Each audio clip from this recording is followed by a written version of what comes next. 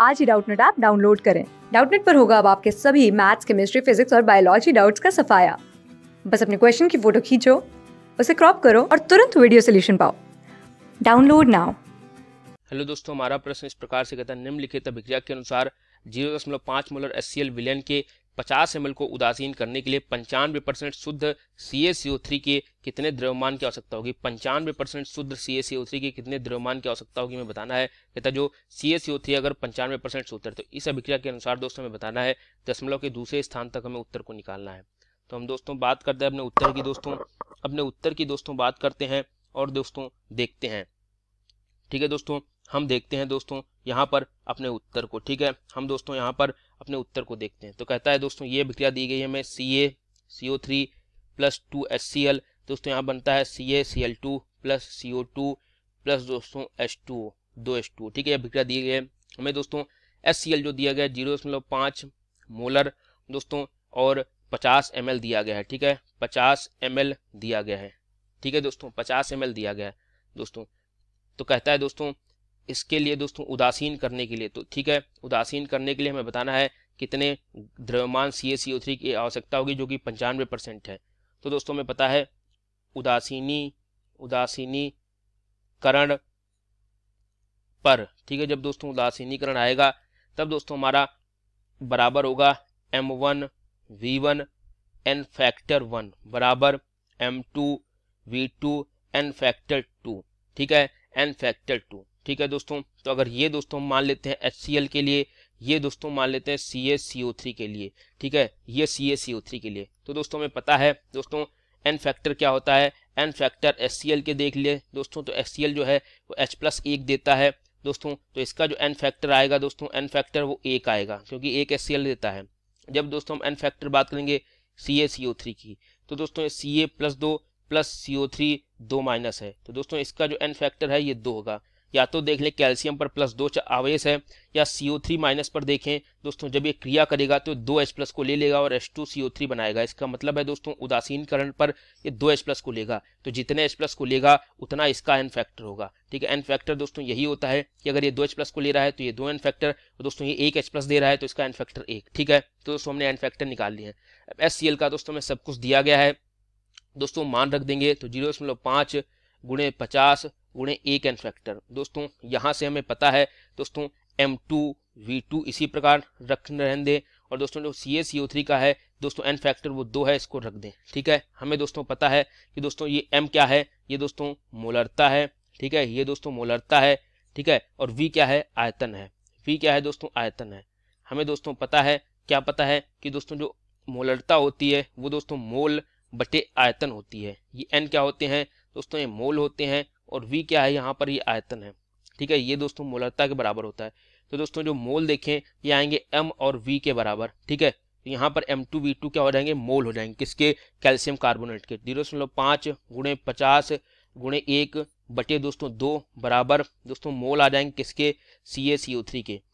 ये दोस्तों C A C O three के मोल आ जाएँगे। दोस्तों मोल कैसे आएँगे? जब आयतन जो हमने एम एल में डाला है तो मोल जो है मिली मोल में आएँगे। एन दोस्तों मोल सी ए सी ओ थ्री के आ जाएँगे यहाँ पर। दोस्तों, कितने आ जाएँगे दोस्तों? इसको हल कर लेंगे पच्चीस बटे दो, ठीक है? पच्चीस बटे दो। दोस्तों तो आ जाएँगे बारह दशमलव पाँच मिली मोल ये दोस्तों मिली मोल आ जाएँगे मिली मोल आ जाएँगे सी ए सी ओ थ्री के, ठीक है? दोस्तों तो मोल में बदलेंगे दोस्तों, क्योंकि हमने आयतन जो है यहाँ पर ये मिली में लिया था तो इसलिए मिली मोल आए मोल में बदलेंगे दोस्तों तो इसको दोस्तों हम एक हज़ार से भाग कर देंगे तो ये दोस्तों हमारे मोल आ जाएँगे। सी ओ सी ए थ्री के सी ए सी ओ थ्री के। तो सी ए सी ओ थ्री के सी ए सी ओ थ्री के मोल आएँगे ज़ीरो दशमलव ज़ीरो एक दो पाँच इतने मोल, ठीक है? इतने मोल आ गए हैं। अब दोस्तों में, दोस्तों, इसका द्रव्यमान निकालना है। हमें दोस्तों पता है, मोल बराबर होता है भार बटे अणुभार। दोस्तों, हमें यहाँ पर भार को निकालना है, जिसको द्रव्यमान हमने कहा है। दोस्तों, द्रव्यमान, दोस्तों, जो कि भार है, दोस्तों, इसको अगर हम स्मॉल एम मान लें, छोटा एम मान लें तो एन गुणे अणुभार हो जाएगा। ठीक है अणुभार हो जाएगा।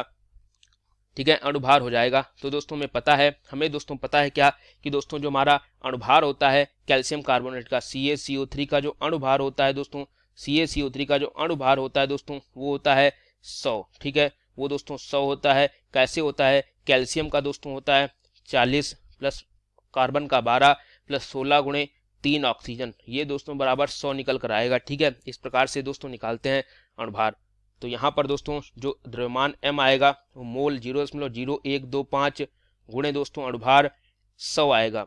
ठीक है? गुणे अणुभार दोस्तों जो है, वो दोस्तों सौ आएगा। ठीक है? सौ आएगा। लेकिन दोस्तों, लेकिन कहता क्या था कि दोस्तों, जो कैल्शियम कार्बोनेट है, वो पंचानवे परसेंट शुद्ध है। तो दोस्तों, पंचानवे परसेंट शुद्ध है, इसका मतलब है, इसमें दोस्तों, जो इसका अणुभार है पूरा पूरा नहीं होगा। इसका दोस्तों में पंचानवे परसेंट निकालना होगा। ठीक है? इंटू में पंचानवे परसेंट कर देंगे, क्योंकि दोस्तों हमें जो कैल्शियम कार्बोनेट दिया गया है, कैल्शियम कार्बोनेट दोस्तों कहता है कि पंचानवे परसेंट शुद्ध है। तो पंचानवे परसेंट शुद्ध है मतलब पूरा सौ परसेंट नहीं है तो पूरा दोस्तों इसका मोलर द्रव्यमान नहीं लेंगे। तो यहाँ से जो द्रव्यमान निकल कर आएगा, ज़ीरो दशमलव ज़ीरो एक दो पाँच गुणे सौ, दोस्तों गुणे सौ गुणे पंचानवे परसेंट को पंचानवे बट्टे सौ लिखेंगे तो परसेंट हट जाएगा। सौ से दोस्तों सौ कट जाएगा। जब दोस्तों ज़ीरो दशमलव ज़ीरो एक दो पाँच गुणे पंचानवे की गुणा करेंगे तो दोस्तों एक दशमलव, दोस्तों कितना आएगा? दोस्तों ज़ीरो दशमलव ज़ीरो एक दो पाँच गुणे पंचानवे की गुणा करेंगे तो दोस्तों आएगा, दोस्तों ये दोस्तों यहाँ पर आएगा, कितना दोस्तों?